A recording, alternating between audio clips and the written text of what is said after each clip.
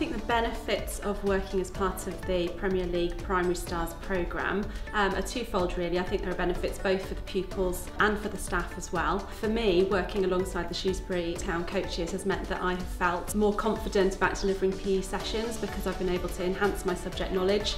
I think for all of the staff that have worked alongside the coaches, it's really developed our own professional development because it's been a supported programme. So we've worked alongside the coach, we've seen how the activities work, we've learned about new activities, but then we've been encouraged to try those out in the following session report back to the coach, tell them how it's gone, tweak, reflect, and then move forward for the next session. We've been thinking about four areas within all of our lessons, so kind of being ambitious, being connected, being fair, um, you know, kind of inspiration. We've been thinking of those within all of the lessons, and again with the skipping challenge at lunchtime, it's encouraged them to be ambitious for themselves, to continue with that personal target and to improve their own personal best scores. How does it make you feel then after the skipping challenge After doing it? skipping on my one, I got 51. After my legs were quite tired and I was just worn out, but it just when you think about it, it's like I don't know, it's like it like makes you feel better after because like you know you're improving each time. Oh. Key to get a higher um, amount of skips each week is to persevere and never give up. Oh wow, love that TB. Great answer. Practice, yeah, practice at home.